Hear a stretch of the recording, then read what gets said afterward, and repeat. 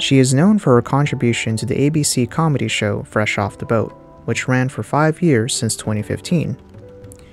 Constance Wu was also nominated for Best Actress in a Comedy or Musical, as well as the Screen Actors Guild Award for Outstanding Performance by a Cast in a Major Motion Picture, Crazy Rich Asians. Wu was born in Richmond, Virginia, and was the daughter of immigrant parents of Taiwanese origin. Her father was a genetics professor at Virginia Commonwealth University. Before her major role in Fresh Off the Boat, and Crazy Rich Asians, she had always had roles in independent movies as well as recurring characters in Law and Order, Covert Affairs, and the ABC soap opera One Life to Live.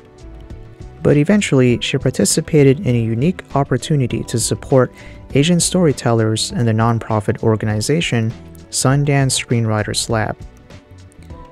This company sought to discover and support independent filmmakers, artists, and composers from all over the world, a value that Constance Wu takes seriously in a time of encouraging more representation.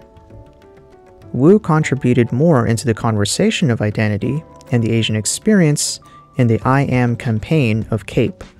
CAPE stands for the Coalition of Asian Pacifics in Entertainment. They launched the hashtag I Am as a way to increase visibility and recognition of Asian Americans and Pacific Islanders to commemorate Asian Pacific American heritage in May of 2014 to 2016. Constance Wu was featured in a video segment of the I Am campaign in 2015. She talked about her personal experience growing up in the US and discussed her own place of struggle and hardship with her mother, questioning her self worth as an actress and overcoming those struggles and initial rejections from her parents. Constance Wu, like many other prominent Asian American women, has been criticized for her looks and faced backlash for her dating choices. But she positioned herself in a way that made it a learning opportunity. She advised others to focus on actions than their looks because it creates confidence, and confidence is a better form of attraction, in her opinion. For Wu, having the freedom to express pain to certain people and to start conversations about identity is a good thing.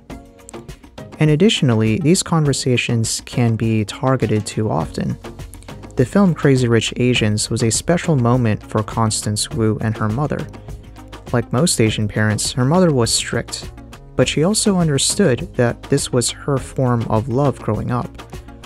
Although Wu did not always agree with her mom's opinions, she now understands her better, and the film made her reflect on the sacrifices her mother made for the family, and the ways she showed her devotion that she never recognized deeply than she did before.